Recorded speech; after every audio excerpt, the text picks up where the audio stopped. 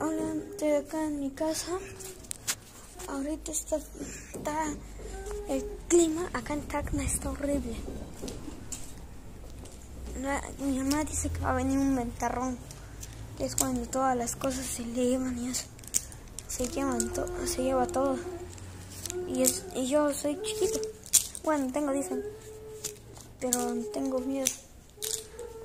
Ahora enseño el clima.